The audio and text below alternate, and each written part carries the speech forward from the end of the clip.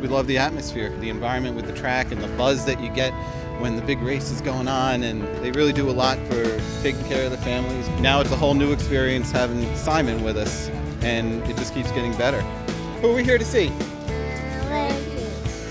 Simon, yes, he's uh, at the track often and he always wants a high five after every race. So I recognize him here. I did remember his name Simon because he comes up to me all the time. So I was very excited.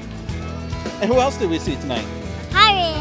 Javier, that's right. Well, we're here because of the great cause also because we do truly believe that these jockeys put themselves on the line every day. We can come out here and support them. That's what we like to do.